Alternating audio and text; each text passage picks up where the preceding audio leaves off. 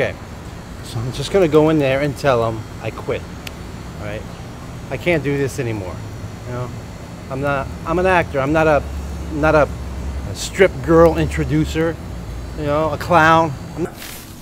All right, let's have a big round of applause for Top Heavy Tina. Yes, Top Heavy Tina making her 13th straight appearance here. Up next is Cindy Cinnabons. Guys, next up is Mega Tits Marge. Mega Tits Marge. You know what? Being honest with yourself isn't always such a good thing. You know, I don't I don't feel any better about myself. You know? I should have left the minute he said he was shooting a documentary. You know, that's what I I need to know where I'm going. Because right now, I'm not going anywhere. I'm just going, no, no, not true, not true, because I'm going back and forth. I'm going back and forth, which is worse than not going anywhere at all. Truth is, I need help. I need help to help myself. I need help to help myself.